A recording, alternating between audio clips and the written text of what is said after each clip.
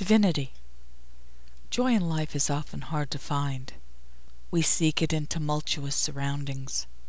Times are hard for those who share, yet the way to peace lies in cooperation. Working together builds hopes. Hope enlightens communities. Love holds the universe together. It is time for a new day. It is time for a new joy. It is time for new sharing. No one need go without.